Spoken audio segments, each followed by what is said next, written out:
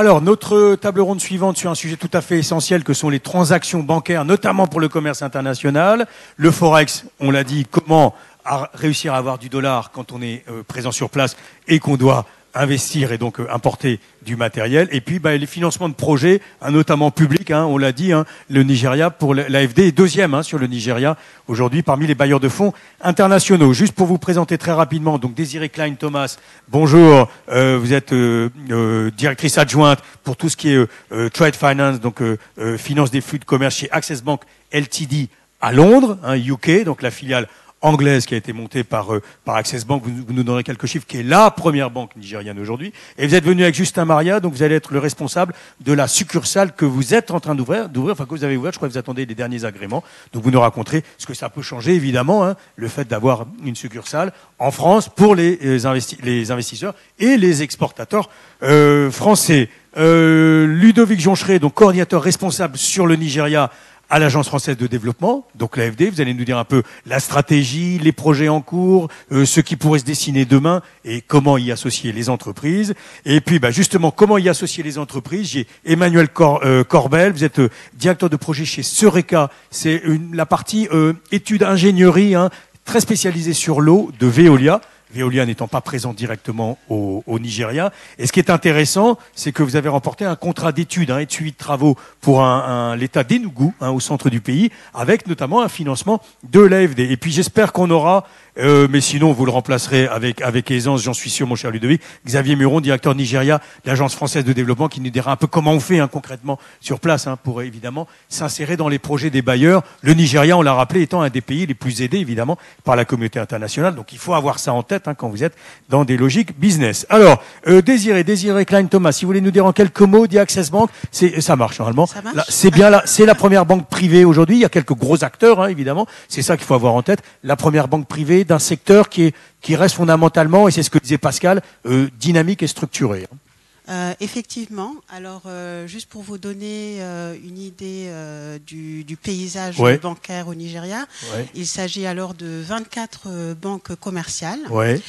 6 banques, disons, plus spécialisées en termes de financement et de développement. Mhm. parmi ces banques commerciales, nous avons alors aussi évidemment des banques de grande envergure locale, mais aussi de grandes banques internationales. Euh, bon, je ne vais pas citer de noms, mais qui sont assez, euh, assez reconnues euh, internationalement. parmi les banques locales, comme je disais, qui sont d'envergure assez importante, mhm. Access Bank, évidemment, est la première. Et c'est aussi une des plus grosses banques en Afrique en, termes de, de nombre. Voilà, et en termes de nombre de, clients. Donc, plus de 60 millions de clients euh, en Afrique euh, et en dehors. Euh, ces banques, disons, de premier niveau au Nigeria sont, ont réussi avec succès à s'implanter dans d'autres pays africains, mais aussi en dehors du continent.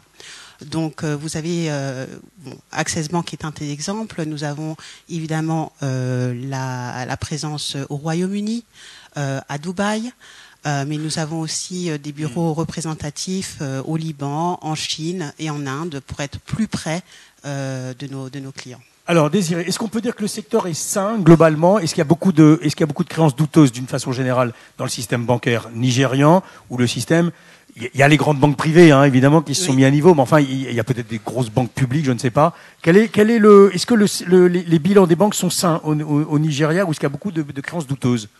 Non, non, c'est sain et, euh, euh, et euh, le secteur est effectivement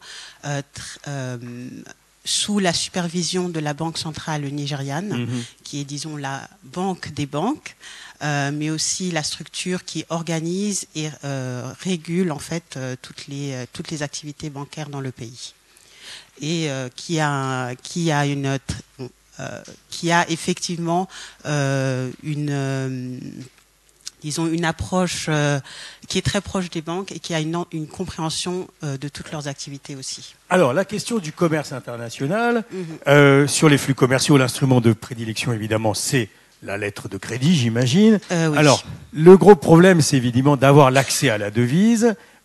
comment fait-on quand on veut importer Et donc, comment fait-on quand on est exportateur mm. dans, dans, une logique où parfois l'importateur doit aller chercher de la, de la devise et ce n'est pas toujours simple. Alors, qu'est-ce que vous diriez là-dessus? Vous avez entendu les interrogations de la, communauté, mm-hmm. hein, évidemment, parce qu'on peut trouver aussi du dollar autrement hein, évidemment que par, que par la, réserve, la réserve euh, fédérale. Mm-hmm. Alors là aussi, qu'est-ce qu'il faut savoir? Comment ça marche concrètement? Et est-ce qu'un un exportateur français peut s'y retrouver?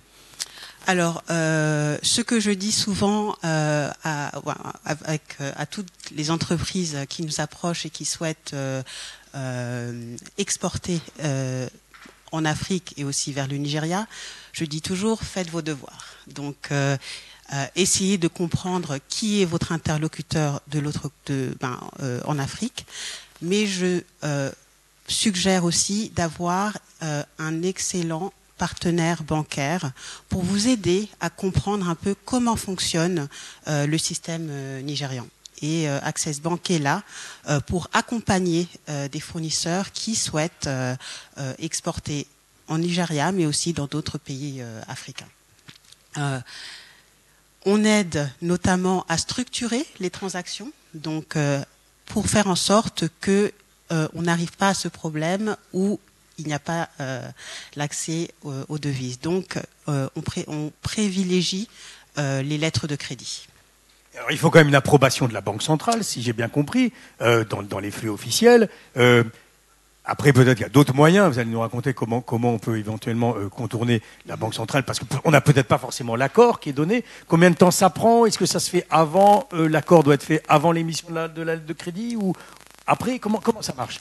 Alors, pour euh, tout d'abord tout import vers euh, le Nigeria est euh, enregistré auprès des douanes et aussi auprès de la Banque centrale à travers leur dispositif.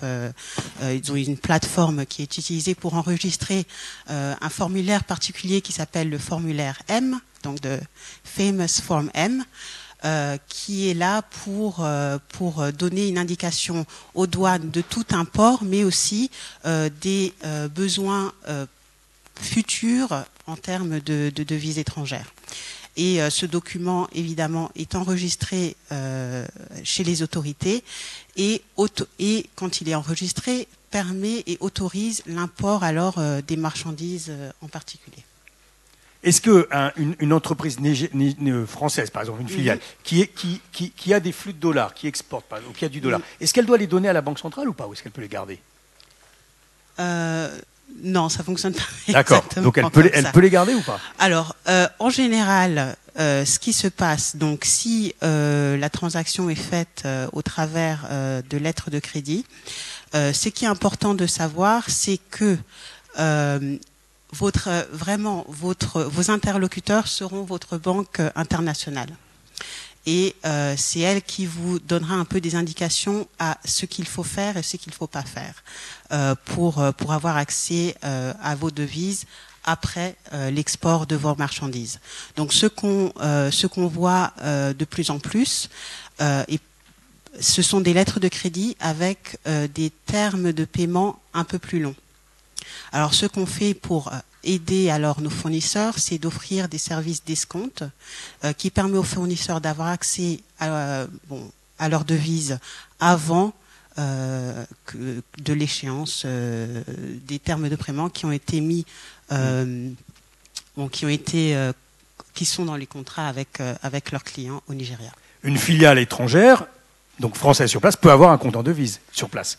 Oui. D'accord. Mm. Et alors, comment gère-t-elle cette question de, et on, l'a vu que la question, évidemment, de la, fin de ce double système de change était absolument essentielle. Mm-hmm. Comment, comment fait-elle, font-elles pour gérer ce double, ce, double système? Qu'est-ce que vous recommandez?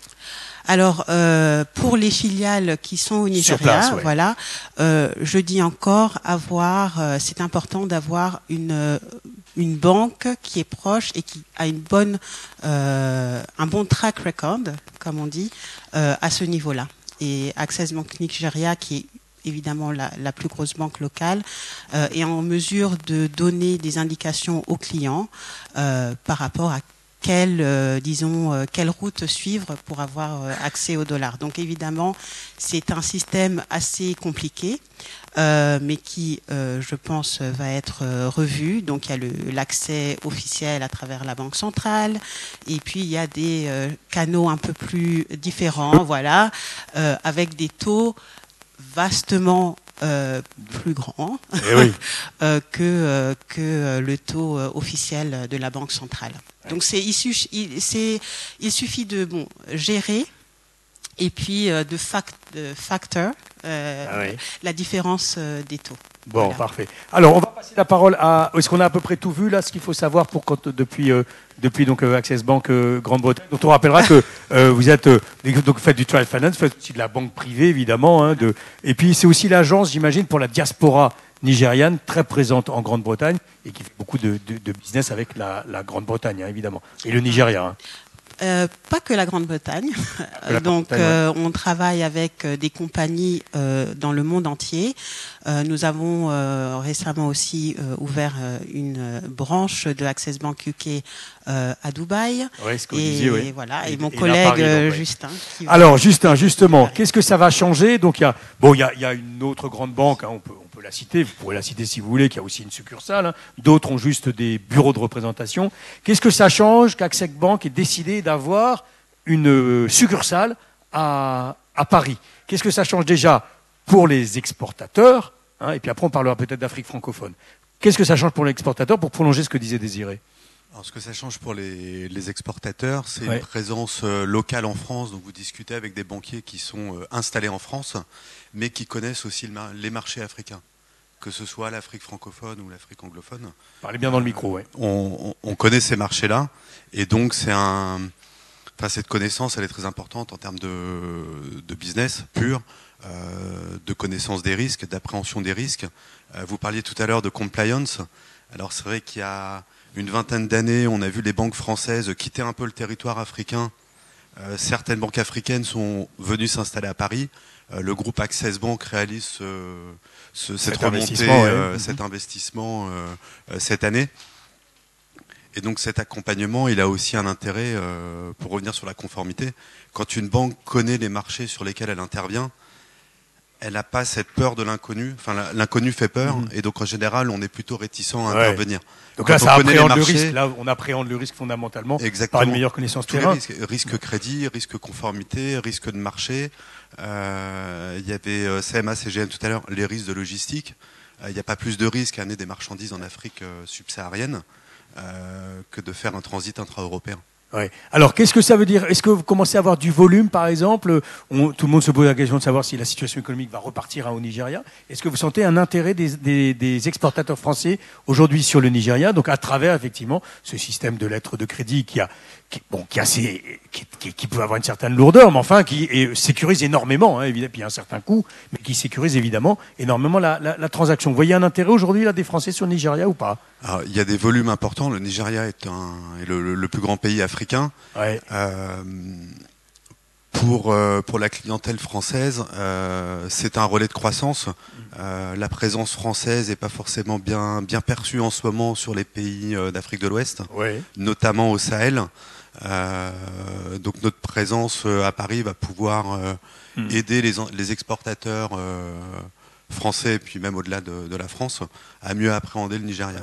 Et finalement, quelle est la stratégie d'une grande banque nigérienne comme celle-ci? Je vous pose la question à tous les deux. Sur l'Afrique francophone, par exemple, une implantation directe, au contraire, on passe plutôt par, la succursale de Paris. Quelle est un peu la, stratégie? Parce qu'on peut penser que ça aurait du sens. On l'a revu à travers les chiffres de Pascal, hein, de la région, le Nigeria, c'est 60% ou 70%, évidemment, de, l'activité économique. Bon, absolument incontournable. Quelle serait la stratégie vis-à-vis -vis de l'Afrique francophone?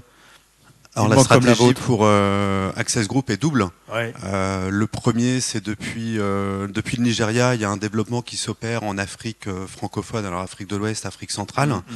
Il y a également un développement qui s'opère en Afrique de l'Est et en Afrique australe. Donc ça, c'est ce qui se fait depuis le, le Nigeria. le but étant de devenir un groupe panafricain, mais aussi de diversifier les, les, les revenus du groupe en Afrique. Et la stratégie à l'international, donc en dehors du territoire africain, c'est Access Bank UK, donc depuis Londres, euh, qui opère cette stratégie et qui a pour but de s'implanter dans différents pays et de faire le lien entre les territoires africains et les, clients euh, internationaux. Est-ce qu'on a tout vu à peu près là, Désiré? Et puis vous, Justin, sur euh, bon encore une fois, c'est une énorme capitalisation. Vous auriez une question, monsieur, c'est ça? Bon, on va, prendre la, allez, c'est la seule qu'on va prendre parce que malheureusement, on va pas avoir trop le temps. Bah, si vous voulez vous lever et rapidement, et vous êtes monsieur À matière, c'est les ponts, hein Ouais, ouais. Ponts métalliques.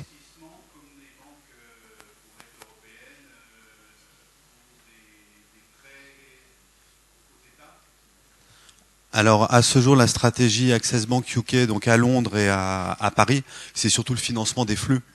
Euh, donc on en a parlé à travers les lettres de crédit.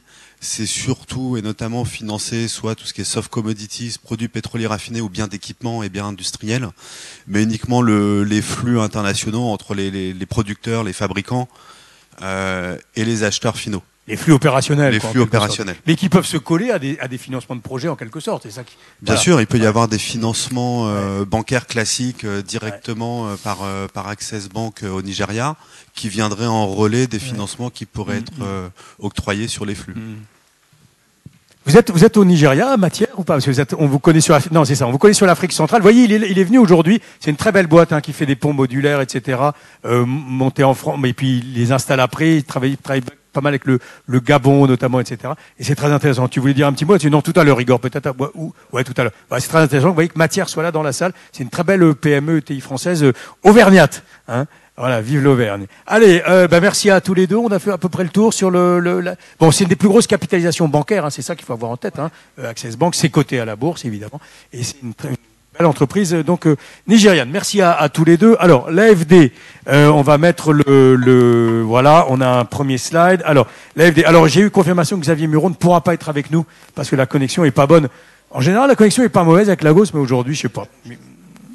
Ah oui, en plus, c'est depuis la, oui, c'est ça, depuis euh, depuis la capitale. Alors, euh, donc Ludovic, coordinateur responsable sur le Nigeria, coordinateur, donc euh, c'est vous en fait qui suivez hein, depuis Paris les affaires sur le, le, Nigeria. Vous, vous êtes basé à Paris. On voit un petit slide, on va pas, on va on va le voir. On l'a dit, à 57 projets globalement. Bon, ça fait des années qu'on est là.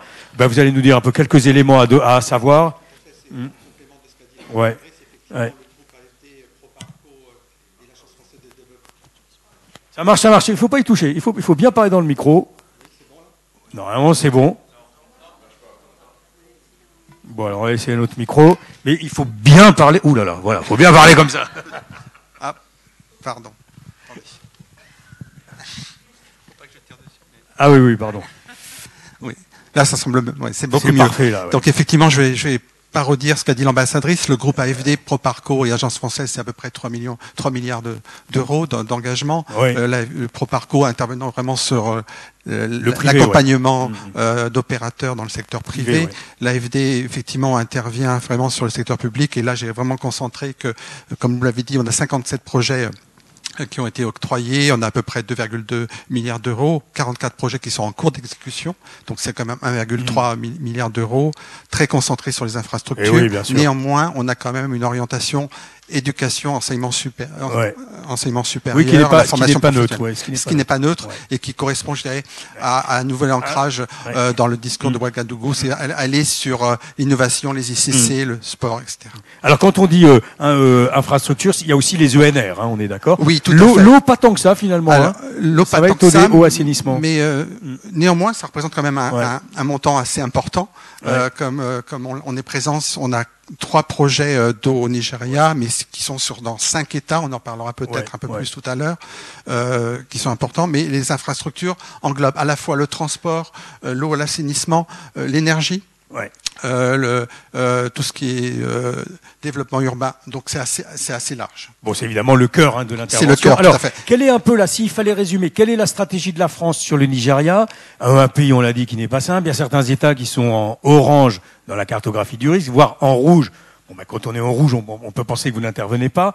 Quelle est un peu la stratégie de, de, de la, de la France sur, euh, et donc de son bras armé, l'AFD, sur le développement public au Nigeria Les trois axes de développement, c'est effectivement, c'est réduire les vulnérabilités, à la fois tant géographiques euh, que qu'en matière d'accès aux, aux, services de base, mais également c'est la lutte contre le changement climatique. Oui. Et, et, donc effectivement, là, on va, on va, on va essayer d'aller vers des, des, des, projets pour lesquels il y a une résilience climatique. Euh, donc, on va parler du mhm. transport tout à l'heure. Euh, et effectivement, c'est le renforcement de la gouvernance, notamment au travers de nos projets, mais également des institutions. Et alors, ça veut dire parce que les flux avaient un peu baissé hein, sur les dernières années, hein, si je ne me trompe pas, on a eu, par rapport à certaines années qui, étaient plus riches. Mais on a eu la suite, croissance. on a eu une forte croissance. effectivement, on, on, peut s'attendre à quoi en termes de flux? On est, on est, on a un portefeuille assez jeune euh, au regard de, de, de, notre instrument qui est des, des prêts souverains mhm. avec des maturités de 20 ans et des périodes mhm. de grâce de 5 à 7 mhm. ans. Donc un portefeuille assez, assez, assez jeune et qui fait qu'effectivement on a des engagements qui sont supérieurs à nos remboursements. Donc on est plutôt sur un trend, euh, je dirais, inférieur à 200 millions d'euros, mais, mais qui et certes n'est pas à la taille des besoins du Nigeria, mais, mais c'est pour ça que on va surtout on, on, recherche des cofinancements avec les autres bailleurs, on en parlera tout à l'heure. Également aussi euh, euh, aller vers l'Union européenne. Euh, qui est aussi un, un grand partenaire, euh, qui a un effet de levier important dans nos bon, projets. Là, on voit quelques éléments, mais on va, on va, on va passer. Là, c'est la présence française, effectivement, en 2022, qui est assez intéressante parce qu'on dans tous les domaines. Dans tous les domaines, tout à fait. Alors, on disait bon, infrastructure, hein, c'est ce que mm. vous répétiez. Et alors là, voilà. Donc, Tiens, là, s'il y a un ou deux projets qui vous semblent emblématiques. Alors, très emblématique, on va parler de Legos, et puis après, on parlera peut-être aussi de l'énergie. Donc, effectivement, dans le transport, on a des, des, projets emblématiques à Legos, avec le Legos Strategic Transport Master Plan, qui est la construction de corridors euh, dédiés aux bus. Euh, et effectivement, demain aussi, on a un projet qui, qui va être très emblématique, qui est un projet de massification du transport. Euh, par voie fluviale. C'est le, ce qu'on appelle le transport fluvial à Lagos, qui va être le, le, waterway. Et puis euh, également, on a un projet qui, qui, va démarrer à Kaduna, qui est un bus de haut niveau de Kaduna où est Kaduna, c'est dans le centre du pays, au-dessus de, au-dessus d'Abuja. Et puis demain, il y a le fameux, le fameux BRT, hein, les, les, lignes de bus en site propre et à cadence accélérée euh, à Cano dans le Nord, la grande Ça, c'est un hein. projet effectivement que les discussions vont démarrer. Ouais. Euh, dans le secteur de l'énergie, effectivement, autour de, autour, on est dans des projets qui sont dans, dans la mhm. l'extension euh, du, du, réseau, dans la densification du réseau. Donc effectivement, dans des, ce qu'on appelle euh, dans Abuja Ring, donc c'est autour de la capitale, euh, mais également il y a le Northern Corridor qui est dans le nord-ouest du Nigeria. Et là, effectivement, c'est des projets, c'est un projet qui intervient dans la zone mm. dite, dite, rouge. Oui, c'est ça. Et alors, on y arrive quand même. C'est ça qu'il faut avoir en tête. C'est ça, on y arrive quand même. Alors? On y arrive quand même, tout à fait, avec euh, avec euh, de, des, des consultants très compétents localement. Vous l'avez déjà, ça t'est déjà dit. oui, c'est des particularités du pays. Absolument, on a une compétence qui est. Et nous, on va en reparler justement avec votre voisin de gauche. Alors, les Français sont conscients de ces, de ces, ils se positionnent, etc. Euh, vous, avez une offre déliée, hein, évidemment, l'AFD, il hein, faut le rappeler, mais les Français se positionnent euh, bah, la, la, Pas suffisamment la, la, slide, la slide montre, montre, effectivement qu'il y a une présence française, mais elle n'est pas suffisante. Effectivement, euh, euh, on a fait un atelier sur euh, avec Business France euh, et c'était vraiment très très enrichissant de part et d'autre. Mm. Euh, effectivement, les, il y a des marchés à venir au regard de, de nos projets qui touchent à la fois le transport, l'eau, l'assainissement, l'énergie, mais également, comme on l'a dit, aussi le développement humain dans l'éducation. Effectivement, on a, des, on a la réhabilitation des centres de formation dans le secteur de l'énergie. Euh, il y a peut-être Schneider qui est là, effectivement, il y a un partenariat aussi mhm, euh, mhm. qui, intervient. Et puis, on a aussi le lancement qui a été fait il y a quelques semaines du projet euh, EDICE, qui est Investment in Digital and Creative Enterprise, qui, qui est vraiment un, projet assez phare et qui est porté par, euh, par euh, les autorités nigérianes. Alors, on va voir le transparent suivant. Je crois que c'est ce qui est en... voilà, les cofinancements, ça c'est intéressant, notamment la BAD. Et passe au suivant, si tu veux bien, et la Banque mondiale. Voilà, c'est vraiment de, de, vous donner à peu près le panel des cofinancements. Alors, cette liste n'est pas exhaustive, mais côté côté BAT, effectivement, on a eu d'échanges d'études de, faisabilité dans le secteur de l'eau, notamment à Hondo. On a partagé nos études de faisabilité avec la BAT qui a financé euh, un complément. Euh, on a un projet de, ferme solaire gigawatt qu'on va mener euh, prochainement. Effectivement, là, c'est la BAT qui va partager ses études. Et puis, je viens de le dire, effectivement, il y a eu la l'autorisation d'un gros projet qui est dans le digital et les, les ICC euh, avec la BAD qui est en, qui est en lead et l'Agence française de développement qui, qui euh, est en financement parallèle ainsi que la Banque islamique de développement. Bon, bah, là aussi, hein, est-ce que les Français sont présents là-dessus? Bon, bah, euh, pas suffisamment, c'est ce que vous nous disiez. Voilà, il faut vraiment avoir ça en tête. Hein. Le, le, Nigeria est un pays très très aidé. Alors, j'ai une dernière question. Je voulais la poser à Xavier, mais il n'a pas pu être en connexion avec nous. C'était finalement, le Nigeria est un pays complexe, un pays fédéral avec des États fédérés. Donc, il faut évidemment euh, savoir s'y retrouver. Les, les financements de la France qui sont prêt, hein, pas du don, hein, faut avoir ça aussi en tête. Hein. Le prêt et donc euh, après, ben, rap, euh, rétrocéder. Voilà, merci pour le terme vers les États fédérés. Alors est-ce que tout ceci est simple? Première question. Est-ce que c'est bien bordé, etc. Ou est-ce que c'est compliqué? Et donc deuxième question qui va avec. Euh, est-ce que vous avez l'impression que les appels d'offres sont clairs, bien identifiés, que les paiements sont bien faits, que les partenaires nigérians sont bien identifiés pour que les dossiers avancent? Donc effectivement, on est, la particularité, c'est qu'effectivement les requêtes viennent des États fédérés qui soumettent éventuellement des, des, des projets. Oui. Ça remonte à l'État fédéral et donc euh, euh, nos, nos, nos, prêts, les prêts de l'AFD sont euh, euh, octroyés à l'État fédéral qui les rétrocède en, dans les termes et les conditions à, à, à l'État fédéré. Euh, c'est le cas de, de, nos projets eau ou c'est le cas de nos projets euh, transport dans le Lagos. Donc euh, et ça, ça, ça, ça, se fait assez bien. Ça se fait. Il y a un pas de temps, mais ça se fait assez bien quand même. Euh, ensuite, ensuite, effectivement, c'est dans le dans le dans la mise en œuvre, dans le suivi exécution. Effectivement, on a quand même une une, une, architecture avec État fédéré, État fédéral qui, qui, qui peut être qui, qui, qui peut être très, très difficile à comprendre. Mmh. Euh, et donc effectivement, lorsqu'on est sur notre projet, on a euh, on, nos interrogants, en fin de compte, c'est à la fois on, on travaille avec l'État fédéral, donc euh, le ministère des Finances et, et, et l'IERD, euh, mais également au niveau fédéré, on, on travaille ouais. avec le Commissioner of Transport, par exemple, mais également avec ce qu'on appelle mmh. PMU, donc c'est un Project Implementation Unit qui se met en place et qui va être nous, mmh. avec lequel on va interagir. Et donc effectivement, c'est dans la mise en œuvre du projet. Ouais. Ben, on va poser la question tout à l'heure à Emmanuel Corbet. Ça se, fait, ça se fait Parce que lui, il a besoin d'être payé évidemment pour, euh, pour avec son avec son partenaire quand il a décroché. Oh, ça, ça fait rire la banquière toujours, hein, c'est connu. Alors, euh, alors Emmanuel Corbel, donc directeur de projet chez euh. Donc, on l'a dit, un bureau d'études et d'ingénierie qui appartient à Veolia, même si Veolia n'est pas directement, oui, ça marche, n'est pas directement présent en, en, au Nigeria. Ben, vous nous direz si Veolia pourrait retourner, revenir, si vous êtes dans le secret des dieux, euh, pour, si Veolia pourrait revenir, par exemple au, Nigeria. Alors vous principalement donc dans le secteur de l'eau et vous avez donc remporté un contrat euh, d'études et de suivi de travaux avec un partenaire Nigeria sur un financement euh, de l'AFD. C'est dans le centre du pays et c'est dans l'eau, hein, on est d'accord? C'est ça. Vous m'entendez? Oui. Oui, très bien. Oui, donc c'est à Enugu, donc été ouais. évoqué euh, par, ouais. par vous. Ouais. Du coup, on a, on, a, on a remporté un appel, sur appel d'offres international un, un, marché de maîtrise d'œuvre, études et suivi de travaux pour l'alimentation en eau potable de la ville d'Enugu. C'est un marché de combien? Donc c'est un marché de 2 millions d'euros, ce qui est ce qui est bien pour euh, l'ingénierie, euh, consulting euh, français.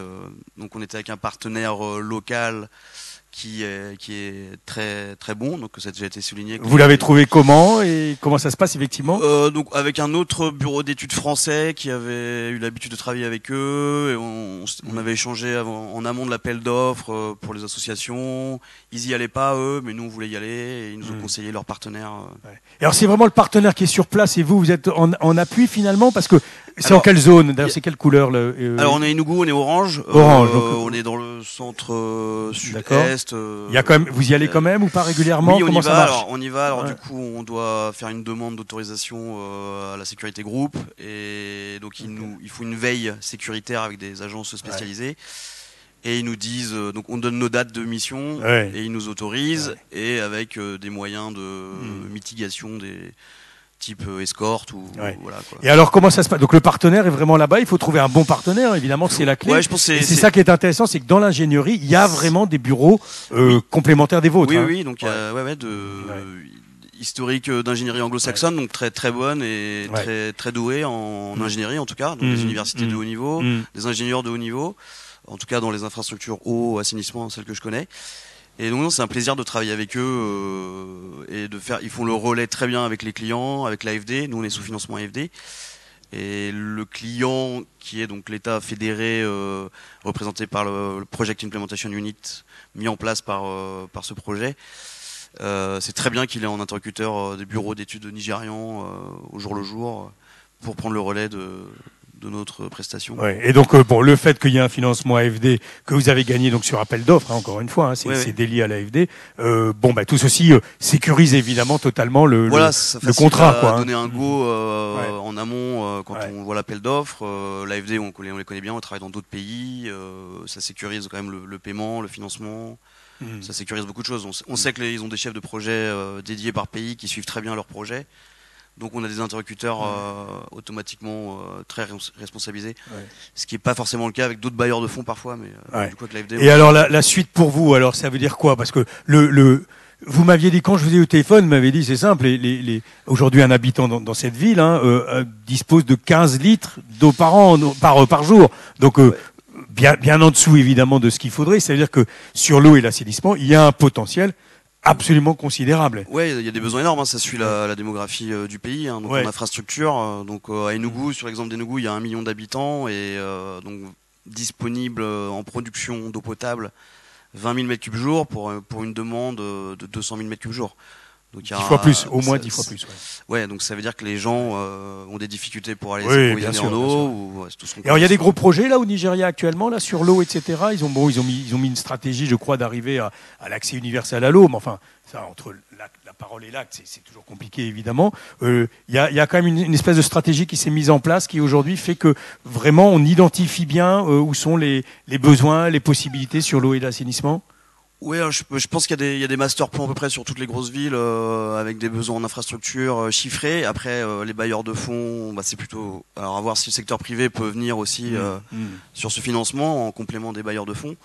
Mais le, oui, le marché est énorme. Nous, on répond à des appels d'offres à Port-Harcourt avec la Banque africaine de développement. Donc Port-Harcourt, c'est la grande capitale pétrolière à l'est. Hein. Ouais, mais il y a des besoins à peu près partout. C'est vrai qu'il y a des États où c'est plus difficile d'aller avec la, la, sécurité, mais c'est grand, c'est un grand pays. Donc, euh... Hmm. donc c'est-à-dire que le Nigeria, c'était le premier marché pour vous, hein, c'est ça? Vous y étiez déjà jamais allé? Non, non, non. Et alors là, vous êtes, vous êtes, en train de vous dire que ça peut être creusé, qu'il y a des, il peut y avoir un flux assez régulier finalement avec la sécurité des bailleurs de fonds? Oui, voilà, c'est sur les financements en fait. Après, euh, je pense que le, le, tout le tout le comment on dit l'écosystème est là pour euh, pour répondre de manière favorable sur les partenaires, sur les tout, tout, est réuni pour qu'on intervienne. On intervient au Kenya, pourquoi on n'interviendrait pas au Nigeria Il n'y euh, a pas de. Oui, bien sûr. Et alors Veolia, là, qu'est-ce que vous n'êtes pas dans le secret des dieux, mais ça aurait du sens quand même que Veolia euh, soit au Nigeria, non Dans tous ces métiers euh, déchets, oui, oui, eau? Bah, Veolia, donc il vise, oui, donc la, des, des, des, projets à impact. Donc c'est sur des sur l'eau, c'est des, des performance based contracts, c'est des gros marchés pour améliorer les, les rendements des réseaux euh, des compagnies euh, publiques ou privées. C'est vrai qu'ils cherchent à avoir des financements privés qui, qui les aident à, à, rentrer sur le marché. Euh, les bailleurs de fonds, bah, la Banque mondiale propose ces types de projets au Kenya, par exemple, les ou en Afrique du Sud, des performance based contracts. Donc ça, ça les intéresse beaucoup. Et c'est là où il y a une vraie différenciation. Et, et puis, ils sont récompensés sur le résultat. Euh, plutôt que les projets traditionnels où, mmh, bien sûr. c'est financé, on fait un énième master plan et puis qui reste dans les tiroirs. Et puis après, bah, le, le, secteur privé, donc accompagner euh, le secteur privé sur les traitements des, des, des déchets, ouais. Euh, eau, déchets, ouais. effectivement. Ouais. Igor, est-ce que tu veux nous dire un petit mot là, toi qui diriges donc Business France à, à, à Lagos, est-ce que tu veux nous dire un peu un, un, petit mot là sur comment tu, tu tu vois les choses hein, sur toutes ces questions de financement jusqu'à ce que disait le groupe Matière, hein, évidemment jusqu'en financement de projets par le par le par le privé. Bon, est-ce que là aussi, euh, si jamais les choses se mettaient en place hein, avec les réformes promises, notamment sur le, le contrôle d'échange et sur le, les taux de change, bon, il y a, y, a, y a pas mal de choses à dire et, et on pourrait avoir plus de présence française, c'est ça? Bah oui, complètement. Enfin, euh, Pascal l'avait rappelé, la Banque mondiale évalue à 100 milliards euh, par, par, an, c'est ça Par an, euh, Pour les 30 prochaines années, les besoins de développement d'infrastructures, donc c'est quand même colossal. Évidemment, les autorités n'ont pas les, ces moyens-là, ni même les bailleurs, mais il y a quand même vous avez vu les enveloppes, hein, les chiffres ont été annoncés, c'est quand même assez colossal ce qui, ce qui se passe, qui est financé. Et puis on peut espérer que euh, avec les réformes qui vont être engagées, euh, le pays va récupérer des capacités d'autofinancement sur un certain nombre de projets publics. Donc euh, on suit ça de, de très très près. D'ailleurs, le Trésor aussi finance un certain nombre de projets en direct auprès des États sur des infrastructures. donc mmh. entre les bailleurs, le Trésor et l'intégralité mmh. des emplois, il y a vraiment des choses à faire. Effectivement, il faut après s'y retrouver dans le millefeuille. Mmh, mmh. C'est ce qui a été évoqué, mais bon, ça c'est notre travail collectivement d'expliquer à, tout le monde. bien sûr. Bien sûr. Et puis que les banques françaises reviennent alors. Exactement. Hein, vous avez vous avez entendu quelque chose là-dessus ou pas? Ah non, je suis pas dans le secret des dieux. On n'est pas dans le secret des dieux. allez, le, ça va forcément revenir sur le tapis. mais dans tous les cas, je voudrais juste remercier quand même la relation avec l'AFD. Hein. On a on a fait un certain nombre d'ateliers, de travaux. On a accueilli des délégations euh, nigérianes en France. Euh, donc voilà. Donc, bon, euh, super. Je pense qu'on est bien plugué. Eh ben merci à vous. Allez, on va passer à la table ronde sur l'agriculture, hein, euh, évidemment, et l'agroindustrie. Et je vais passer la parole à Sonia Dara.